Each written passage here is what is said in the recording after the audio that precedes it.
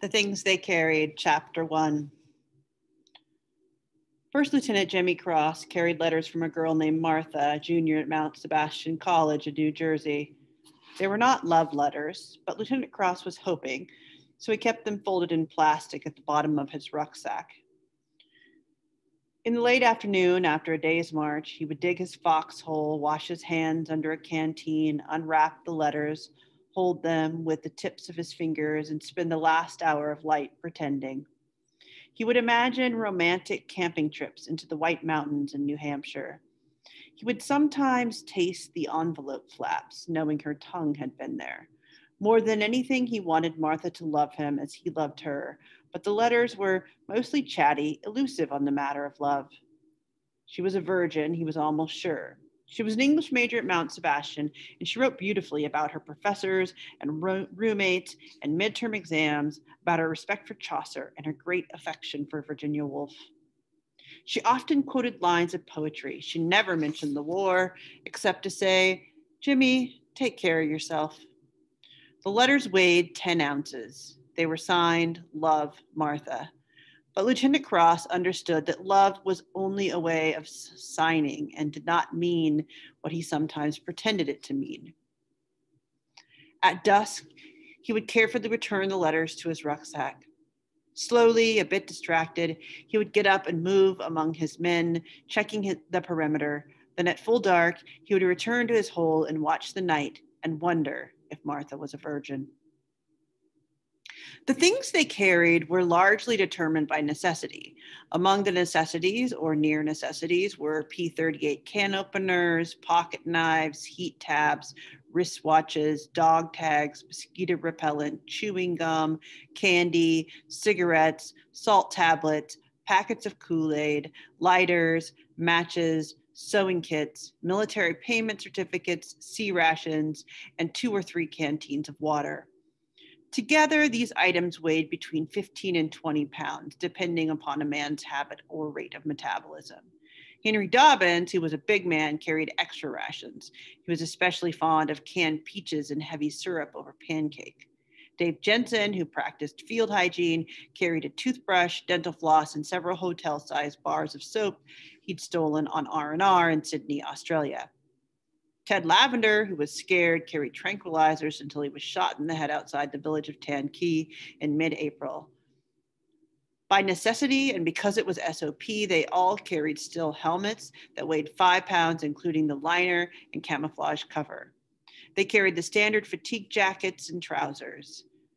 Very few carried underwear. On their feet, they carried jungle boots, 2.1 pounds, and Dave Jensen carried three packs of socks and a can of Dr. Scholl's foot powder as a precaution against trench foot. Until he was shot, Ted Lavender carried six or seven ounces of premium dope, which for him was a necessity. Mitchell Sanders, the RTO, carried condoms. Norman Bowker carried a diary. Rat Kiley carried comic books. Kiowa, a devout Baptist, carried an illustrated New Testament that had been presented to him by his father, who taught Sunday school in Oklahoma City, Oklahoma. As a hedge against bad times, however, Kiowa also carried his grandmother's distrust of the white man, his grandfather's old hunt, hunting hatchet. Necessity dictated. Because the land was mined and booby trapped, it was SOP for each man to carry a steel centered, nylon covered flak jacket, which weighed 6.7 pounds, but which on hot days seemed much heavier. Because you could die so quickly, each man carried at least one large compress bandage, usually in the helmet band for easy access. Because the nights were cold and because the monsoons were wet, each carried a green plastic poncho, poncho that could be used as a raincoat or ground sheet or makeshift tent. With its quilted liner, the poncho weighed almost two pounds, but it was worth every ounce. In April, for instance, when Ted Lavender was shot, they used his poncho to wrap him up, then carry, then to carry him across the paddy, then to lift him into the chopper that took him away. They were called legs or grunts. To carry something was to hump it, as when Lieutenant Jimmy Cross humped his love for Martha up the hills and through the swamps. In its intransitive form, to hump meant to walk or to march, but it implied burdens far beyond the intransitive. Almost everyone humped photographs. In his wallet, Lieutenant Cross carried two photographs of Martha. The first was a Kodacolor snapshot signed Love, though he knew better. She stood against a brick wall. Her eyes were gray and neutral, her lips slightly open as she stared straight on at the camera. At night, sometimes Lieutenant Cross wondered who had taken the picture because he knew she had boyfriends, because he loved her so much, and because he could see the shadow of the picture taker spreading out against the brick wall. The second photograph had been clipped from the 1968 Mount Sebastian yearbook. It was an action shot, women's volleyball, and Martha was bent horizontal to the floor, reaching, the palms of her hands in sharp focus, the tongue taut, the expression frank and competitive. There was no visible sweat. She wore white gym shorts. Her legs, he thought, were almost certainly the legs of a virgin, dry and without hair, the left knee cocked and carrying her entire weight, which was just over a 100 pounds. Lieutenant Cross remembered touching that left knee. A dark theater, he remembered, and the movie was Bonnie and Clyde. And Martha wore a tweed skirt, and during the final scene, when he touched her knee, she turned and looked at him in a sad, sober way that made him pull his hand back but he was always he would always remember the feel of the tweed skirt and the knee beneath it and the sound of the gunfire that killed Bonnie and Clyde, how embarrassing it was, how slow and oppressive. He remembered kissing her goodnight at the dorm door. Right then, he thought, he should have done something brave. He should have carried her up the stairs to her room and tied her to the bed and touched that left knee all night long. He should have risked it. Whenever he looked at the photographs, he thought of new things he should have done. What they carried was partly a function of rank, partly a field specialty. As a first lieutenant and platoon, platoon leader, Jimmy Cross carried a compass, maps, code books, binoculars, and a 45 caliber pistol that weighed 2.9 pounds fully loaded. He carried a strobe light and the responsibility for the lives of his men. As an RTO, Mitchell Sanders carried the PRC 25 radio, a killer, 26 pounds with its batteries. As a medic, Rat Kiley carried a canvas satchel filled with morphine and plasma and malaria tablets and surgical tape and comic books and all the things a medic must carry, including M&Ms for especially bad wounds, for a total weight of nearly 20 pounds. As a big man, therefore machine gunner, Henry Dobbins carried the M60, which weighed 23 pounds unloaded, but which was almost always loaded. In addition, Dobbins carried between 10 and 15 pounds of ammunition draped in belts across his chest and shoulders. As PFCs or Spec 4s, most of them were common grunts and carried the standard M16 gas operated assault rifle. The weapon weighed 7.5 pounds, unloaded 8.2 pounds with its full 20 round magazine. Depending on numerous factors such as topography and psychology, the riflemen carried anywhere from 12 to 20 magazines, usually in cloth bandoliers, adding on another 8.4 pounds at minimum, 14 pounds at maximum. When it was available, they also carried M16 maintenance gear, rods and steel brushes, and swabs and tubes of LSA oil, all of which weighed about a pound. Among the grunts, some carried the M79 grenade launcher, 5.9 pounds unloaded, a reasonably light weapon except for the ammunition, which was heavy. A single round weighed 10 ounces. The typical load was 25 rounds. But Ted Lavender, who was scared, carried 34 rounds when he was shot and killed outside Tanquis, and he went down under an ex- exceptional burden, more than 20 pounds of ammunition, plus the flak jacket and helmet and rations and water and toilet paper and tranquilizers and all the rest, plus the unweighed fear. He was dead weight. There was no twitching or flopping. Kiowa, who saw it happen, said it was like watching a rock fall or a big sandbag or something, just boom, then down. Not like the movies where the dead guy rolls around and does fancy spins and goes ass over tea kettle. Not like that, Kiowa said. The poor bastard just flat fuck fell. Boom. Down. Nothing else. It was a bright morning in mid April. Lieutenant Cross felt the pain.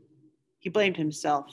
They stripped off Lavender's canteens and ammo, all the heavy things, and Rat Kiley said the obvious. The guy's dead. and Mitchell Sanders used his radio to report one U.S. KIA and to request, request a chopper. Then they wrapped Lavender in his poncho.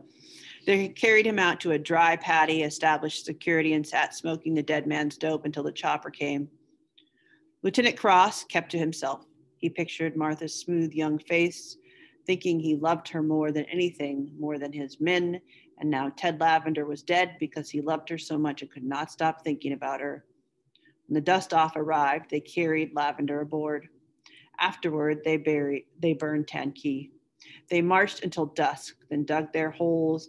And that night, Kiowa kept explaining how he had to be there, how fast it was, how the poor guy just dropped like so much concrete. Boom, down, he said, like cement. In addition to the standard, three standard weapons, the M60, M16, and M79, they carried whatever presented itself or whatever seemed appropriate as a means of killing or staying alive. They carried catch as catch can. At various times in various situations, they carried M14s and uh, CAR 15s and Swedish Ks and grease guns and captured AK 47s and Chicoms and RPGs and Simonov carbines and black market Uzis and 38 caliber Smith and Wesson handguns and 66 millimeter LAWs and shotguns and silencers and blackjacks and bayonets and C4 plastic explosives. Lee Strunk carried a slingshot, a weapon of last resort, he called it. Mitchell Sanders carried brass knuckles. Kiowa carried his grandfather's feathered hatchet. Every third or fourth man carried a Claymore anti personnel mine, 3.5 pounds with its firing device. They all carried fragmentation grenades, 14 ounces each. They all carried at least one M18 colored smoke grenade, 24 ounces. Some carried CS or tear gas grenades. Some carried white phosphorus grenades. They carried all they could bear and then some, including a silent awe for the terrible power of the things they carried. In the first week of April, before Lavender died, Lieutenant Jimmy Cross received a good luck charm from Martha. It was a simple pebble, an ounce at most. Smooth to the touch, it was a milky white color with flecks of orange and violet, oval shaped like a miniature egg. In the accompanying letter, Martha wrote that she had found the pebble on the Jersey shoreline, precisely where the land touched water at high tide, where things came together but also separated.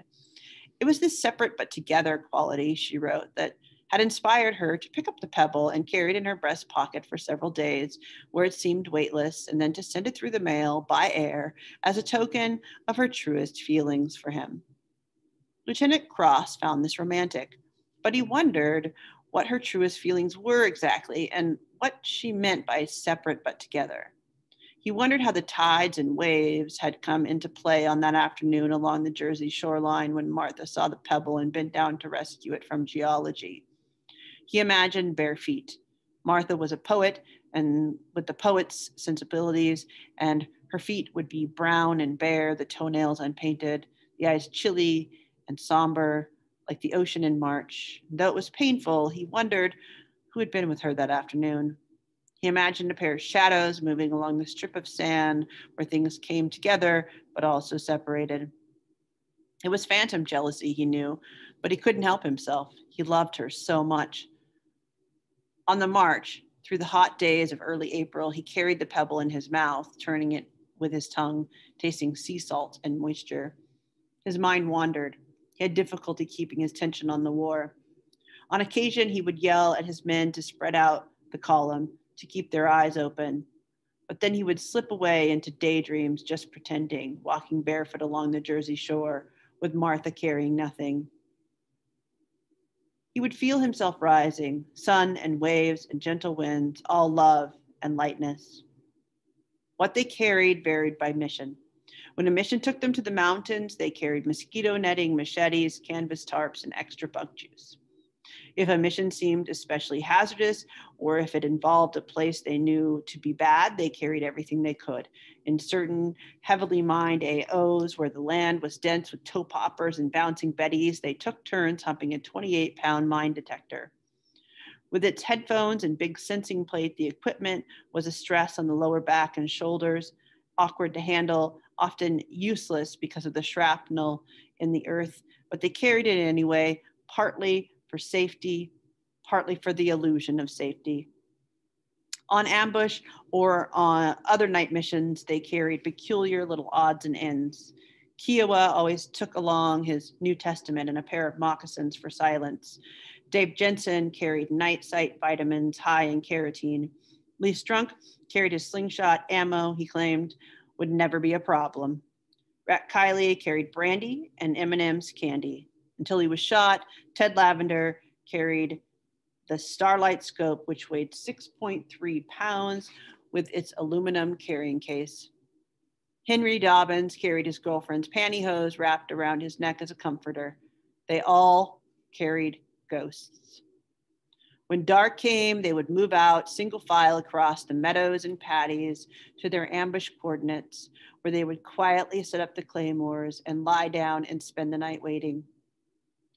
Other missions were more complicated and required special equipment. In mid April, it was their mission to search out and destroy the elaborate tunnel complexes in the Than Khe uh, area south of Chu Lai.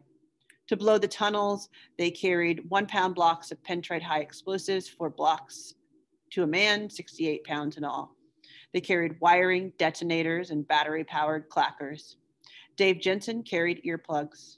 More often, before blowing the tunnels, they were ordered by higher command to search them, which was considered bad news. But by and large, they just shrugged and carried out orders. Because he was a big man, Henry Dobbins was excused from tunnel duty. The others would draw numbers. Before Ted Lavender died, there were 17 men in the platoon, and whoever drew the number 17 would strip off his gear and crawl in headfirst with a flashlight and Lieutenant Cross's 45 caliber pistol. The rest of them would fan out as security. They would sit down or kneel, not facing the hole, listening to the ground beneath them, imagining cobwebs and ghosts, uh, whatever was down there, the tunnel walls squeezing in, how the flashlight seemed impossibly heavy in the hand, and how it was tunnel vision in the very strictest sense, compression in all ways, even time, and how you had to wiggle in ass and elbows, a swallowed up feeling, and how you found yourself worrying about odd things. Will your flashlight go dead? Do rats carry rabies? If you screamed, how far would the sound carry? Would your buddies hear it? Would they have the courage to drag you out? In some respects, though, uh, though not many, the waiting was worse than the tunnel itself. Imagination was a killer. On April 16th, when Lee struck, uh, Strunk drew the number 17, he laughed and muttered something and went down quickly. The morning was hot and very still.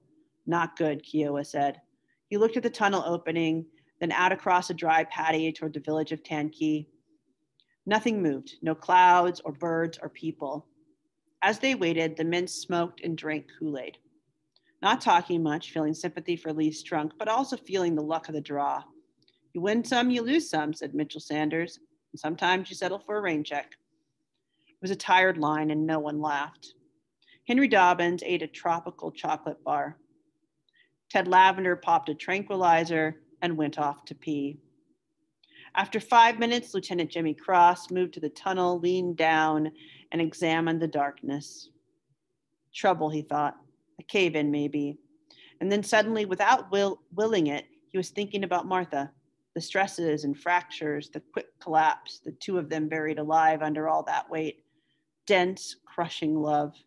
Kneeling, watching the hole, he tried to concentrate on Lee Strunk and the war, all the dangers, but his love was too much for him. He felt paralyzed. He wanted to sleep inside her lungs and breathe her blood and be smothered. He wanted her to be a virgin and not a virgin all at once. He wanted to know her, intimate secrets. Why poetry? Why so sad? Why that grayness in her eyes? Why so alone?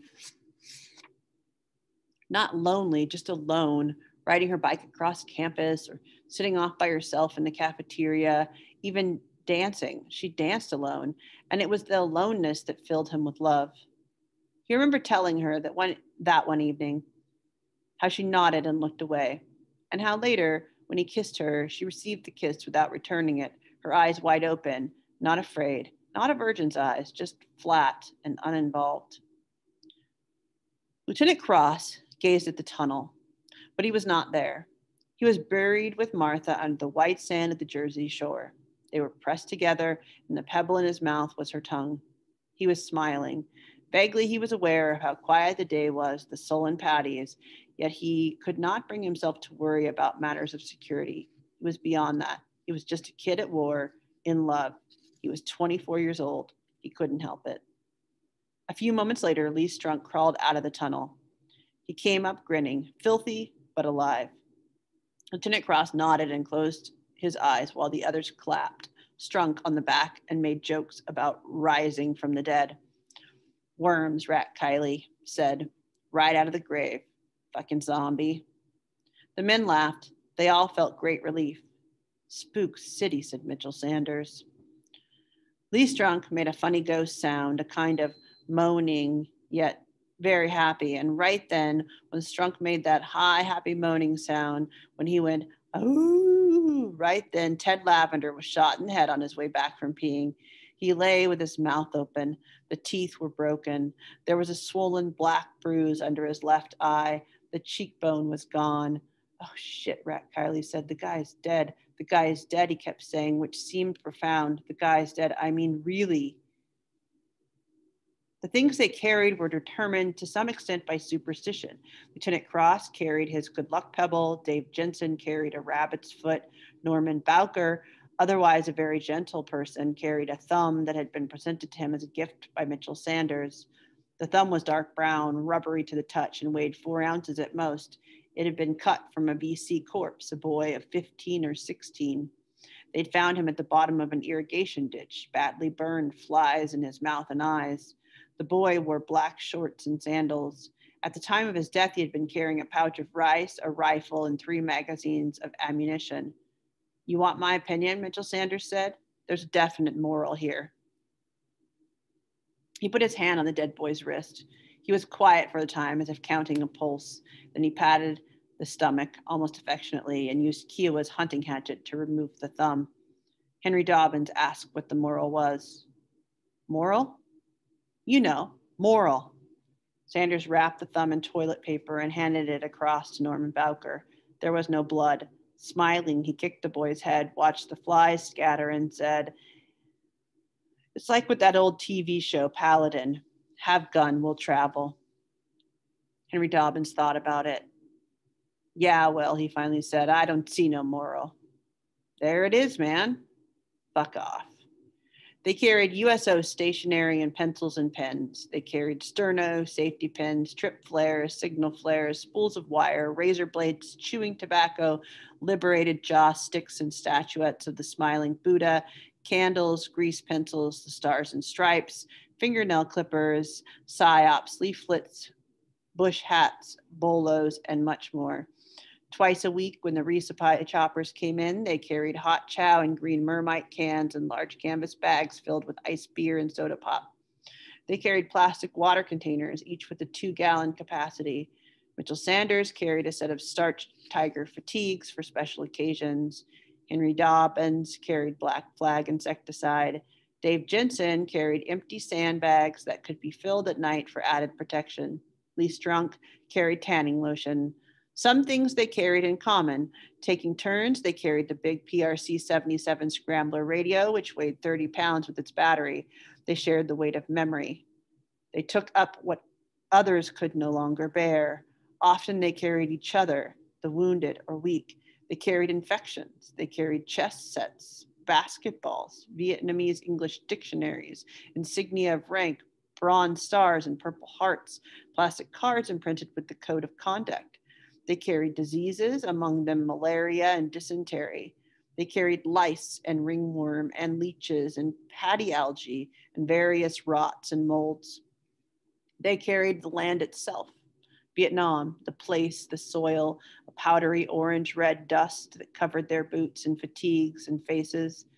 They carried the sky, the whole atmosphere they carried it the humidity the monsoons the stink of fungus and decay all of it they carried gravity. They moved like mules.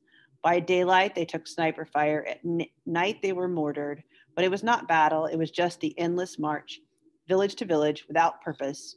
Nothing won or lost. They marched for the sake of the march. They plodded along slowly dumbly leaning forward against the heat unthinking, all blood and bone, simple grunts, soldiering with their legs, toiling up the hills and down into the paddies and across the rivers and up again and down, just humping one step and then the next and then another, but no volition, no will, because it was automatic. It was anatomy. And the war was entirely a matter of posture and carriage. The hump was everything a kind of inertia, a kind of emptiness, a dullness of desire and intellect and conscience and hope and human sensibility. Their principles were in their feet. Their calculations were biological. They had no sense of strategy or mission. They searched the villages without knowing what to look for, not carrying, kicking over jars of rice, frisking children and old men, blowing tunnels, sometimes setting fires and sometimes not, then forming up and moving on to the next village, then other villages where it would always be the same. They carried their own lives. The pressures were enormous. In the heat of early afternoon, they would remove their helmets and flak jackets, walking bare, which was dangerous, but which helped ease the strain. They would often discard things along the route of march. Purely for comfort, they would throw away rations, blow their claymores and grenades, and no matter because by nightfall, the res- resupply choppers would arrive with more of the same. Then a day or two later, still more fresh watermelons and crates of ammunition and sunglasses and woolen sweaters. The resources were stunning. Sparklers for the 4th of July, colored eggs for Easter. It was the great American war chest, the fruits of science, the smokestacks, the canneries, the arsenals at Hartford, the Minnesota forests, the machine shops, the vast fields of corn and wheat they carried like freight trains. They carried it on their backs and shoulders. And for all the ambiguities of Vietnam, all the mysteries and unknowns, there was at least the single abiding certainty that they would never be at a loss for things to carry. After the chopper took Lavender away, Lieutenant Jimmy Cross led his men into the village of Than Khe. They burned everything. They shot chickens and dogs. They trashed the village well. They called in artillery and watched the wreckage. Then they marched for several hours through the hot afternoon, and then at dusk, while Kiowa explained how Lavender died, Lieutenant Cross found himself trembling. He tried not to cry. With his entrenching tool, which weighed five pounds, he began digging a hole in the earth. He felt shame. He hated himself.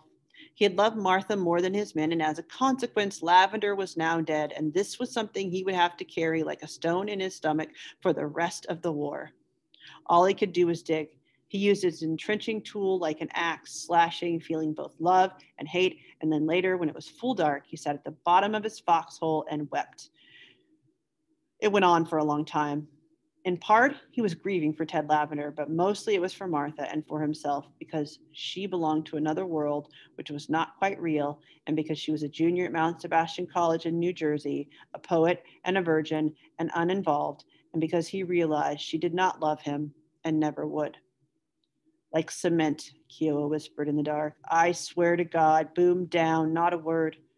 I've heard this, said Norman Bowker. A pisser, you know, still zipping himself up, zapped while zipping. All right, fine, that's enough. Yeah, but you had to see it. The guy just, I heard, man, cement. So why not shut the fuck up? Kiowa shook his head sadly and glanced over at the hole where Lieutenant Jimmy Cross sat watching the night. The air was thick and wet. A warm, dense fog had settled over the paddies, and there was the stillness that precedes rain. After a time, Kiowa sighed. One thing for sure, he said, the lieutenant's in some deep hurt. I mean, that crying jag, the way he was carrying on, it wasn't fake or anything. It was really heavy duty hurt. That man, the man cares. Sure, Norman Bowker said. Say what you want. The man does care. We all got problems. Not Lavender. No, I guess not, Bowker said. Do me a favor, though. Shut up. That's a smart Indian. Shut up. Shrugging, Kiowa pulled off his boots. He wanted to say more just to lighten up his sleep, but instead he opened his New Testament and arranged it beneath his head as a pillow. The fog made things seem hollow and unattached. He tried not to think about Ted, Ted Lavender, but then he was thinking how fast it was no drama, down and dead, and it was hard to feel anything except surprise. It seemed unchristian. He wished he could find some great sadness or even anger, but the emotion wasn't there and he couldn't make it happen. Mostly he felt pleased to be alive. He liked the smell of the New Testament under his cheek, the leather and ink and paper and glue, whatever the chemicals were. He liked hearing the sounds of night. Even his fatigue, it felt fine, the stiff muscles and the prickly awareness of his own body, a floating feeling. He enjoyed not being dead. Lying there, Kiowa admired Lieutenant Jimmy Cross's capacity for grief. He wanted to share the man's pain. He wanted to care as Jimmy Cross cared. And yet, when he closed his eyes, all he could think was boom down. And all he could feel was the pleasure of having his boots off and the fog curling in around him, and the damp soil and the Bible smells and the plush comfort of night. After a moment, Norman Bowker sat up in the dark. What the hell, he said. You want to talk? Talk. Tell it to me. Forget it. No, man, go on. One thing I hate, it's a silent Indian. For the most part, they carried themselves with poise, a kind of dignity. Now and then, however, there were times of panic when they squealed or wanted to squeal but couldn't, when they twitched and made moaning sounds and covered their heads and said, Dear Jesus, and flopped around on the earth and fired their weapons blindly and cringed and sobbed and begged for the noise to stop and went wild and made stupid promises to themselves and to God and to their mothers and fathers, hoping not to die. In different ways, it happened to all of them. Afterward, when the firing ended, they would blink and peek up. They would touch their bodies, feeling shame, then quickly hiding it. They would force themselves to stand. As if in slow motion, frame by frame, the world would take on the old logic absolute silence, then the wind, then sunlight, then voices. It was the burden of being alive. Awkwardly, the men would reassemble themselves, first in private, then in groups, becoming soldiers again. They would repair the leaks in their eyes. They would check for casualties, call in dust offs, light cigarettes, try to smile, clear their throats and spit, and begin cleaning their weapons. After a time, someone would shake his head and say, No lie, I almost shit my pants. And somebody else would laugh, which meant it was bad, yes, but the guy had obviously not shit his pants. It wasn't that bad. And in any case, nobody would ever do such a thing and then go ahead and talk about it. They would squint into the dense, oppressive sunlight. For a few moments, perhaps, they would fall silent, lighting a joint and tracking its passage from man to man, inhaling, holding in the humiliation. Scary stuff, one of them might say. But then someone else would grin or flick his eyebrows and say, Roger Dodger, almost cut me a new asshole, almost. There were numerous such poses. Some carried themselves with a sort of wistful, wistful resignation, others with pride, or stiff soldierly discipline or good humor or macho zeal. They were afraid of dying, but they were even more afraid to show it. They found jokes to tell. They used a hard vocabulary to contain the terrible softness. Greased, they'd say, offed, lit up, zapped while zipping. It wasn't cruelty, just stage presence they were actors. When someone died, it wasn't quite dying because, in a curious way, it seemed scripted. And because they had their lines mostly memorized, irony mixed with tragedy, and because they called it by other names as if to insist and destroy the reality of death itself. They kicked corpses, they cut off thumbs, they talked grunt lingo, they told stories about Ted Lavender's supply of tranquilizers, how the poor guy didn't feel a thing, how incredibly tranquil he was. There's a moral here, said Mitchell Sanders. They were waiting for Lavender's chopper, smoking the dead man's dope. The moral's pretty obvious, Sanders said and winked. Stay away from drugs. No joke. They'll ruin your day every time. Cute, said Henry Dobbins. Mind blower, get it? Talk about Wiggy, nothing left, just blood and brains. They made themselves laugh. There it is, they'd say over and over. There it is, my friend, there it is, as if the repetition itself were an act of poise, a balance between crazy and almost crazy, knowing without going. There it is, which meant to be cool, let it ride, because, oh yeah, man, you can't change what can't be changed. There it is. There is absolutely and positively and fucking well is. They were tough. They carried all the emotional baggage of men who might die grief, terror, love, longing, these were intangibles, but these were tangible. These were intangibles, but the intangibles had their own mass and specific gravity. They had tangible weight. They carried shameful memories. They carried this common secret of cowardice barely restrained, the instinct to run or freeze or hide. And in many respects, this was the heaviest burden of all, for it could never be put down. It required perfect balance and perfect posture. They carried their reputations. They carried the soldiers' greatest fear, which was the fear of blushing. Men killed and died because they were embarrassed not to. It was what had brought them to the war in the first place. Nothing positive, no dreams of glory or honor, just to avoid the blush of dishonor. They died so as not to die of embarrassment. They crawled into tunnels and walked point and advanced under fire. Each morning, despite the unknowns, they made their legs move. They endured. They kept humping. They did not submit to the obvious alternative, which was simply to close the eyes and fall. So easy, really. Go limp and tumble to the ground and let the muscles unwind and not speak and not budge until your buddies picked you up and lifted you into the chopper that would roar and dip its nose and carry you off the world. A mere matter of falling, yet no one ever fell. It was not courage exactly, the object was not valor. Rather, they were too frightened to be cowards. By and large, they carried these things inside, maintaining the masks of composure. They sneered at sick call. They spoke bitterly about guys who had found release by shooting off their own toes or fingers. Pussies, they'd say, candy asses. It was fierce, mocking talk with only a trace of envy or awe, but even so, the image played itself out behind their eyes. They imagined the muzzle against flesh. So easy, squeeze the trigger and blow away a toe. They imagined it. They imagined the quick, sweet pain, then the evacuation to Japan, then a hospital with warm beds and cute geisha nurses, and they dreamed of freedom birds. At night, on guard, staring into dark, they were carried away by jumbo jets. They felt the rush of takeoff, gone.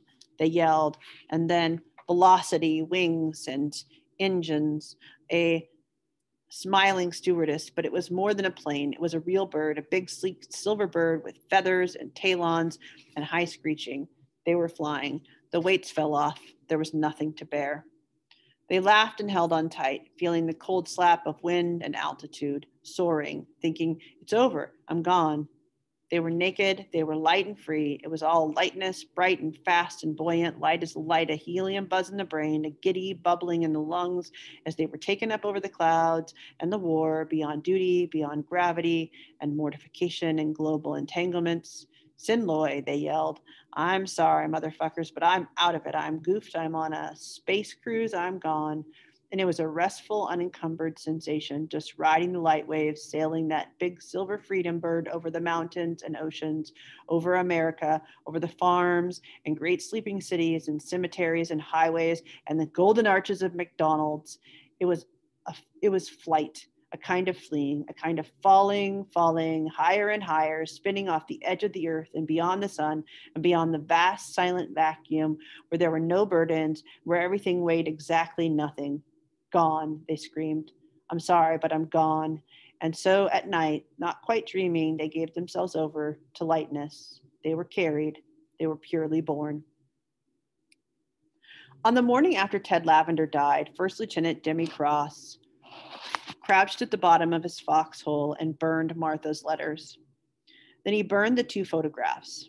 There was a steady rain falling, which made it difficult. But he used heat tabs and sterno to build a small fire, screening it with his body, holding the photographs over the tight blue flame with the tips of his fingers. He realized it was only a gesture. Stupid, he thought. Sentimental, too, but mostly just stupid. Lavender was dead. He couldn't burn the blame.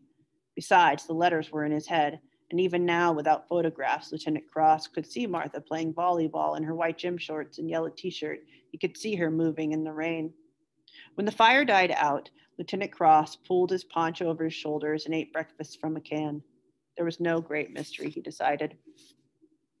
In those burned letters, Martha had never mentioned the war except to say, Jimmy, take care of yourself. She wasn't involved. She signed the letters love, but it wasn't love, and all the fine lines and technicalities did not matter.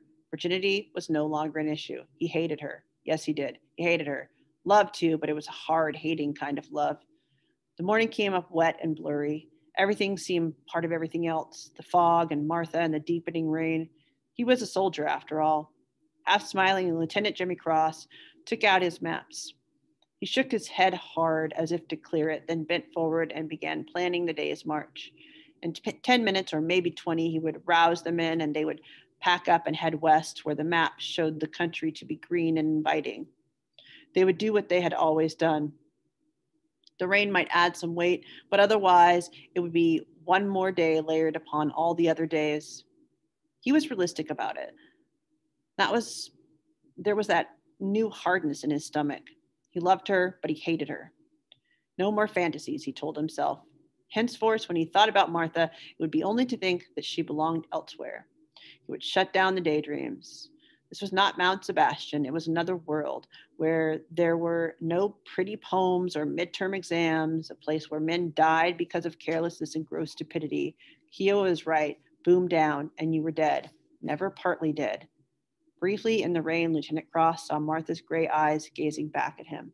He understood. It was very sad, he thought, the things men carried inside, the things men did or felt they had to do. He almost nodded at her, but didn't. Instead, he went back to his maps. He was now determined to perform his duties firmly and without negli- negligence. It wouldn't help Lavender, he knew that, but from this point on, he would comport himself as an officer. He would dispose of his good luck pebble, swallow it maybe, or use Lee Strunk's slingshot, or just drop it along the trail. On the march, he would impose strict field discipline. He would be careful to send out flank security to prevent straggling or bunching up, to keep his troops moving at the proper pace and at the proper interval. He would insist on clean weapons. He would confiscate the remainder of Lavender's dope. Later in the day, perhaps, he would call the men together and speak to them plainly.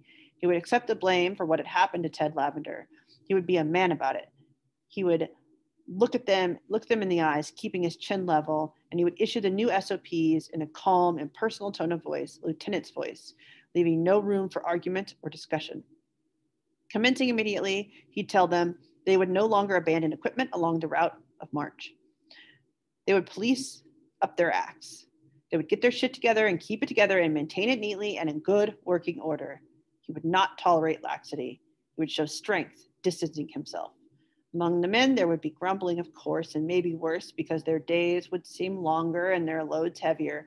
But Lieutenant Jimmy Cross reminded himself that his obligation was not to be loved, but to lead. He would dispense with love. It was not, it was not now's now a factor. And if anyone quarreled or complained, he would simply tighten his lips and arrange his shoulders in the correct command posture. He might give a curt little nod, or he might not. He might just shrug and say, Carry on then. They would saddle up and form into a column and move out toward the villages west of Than Khe.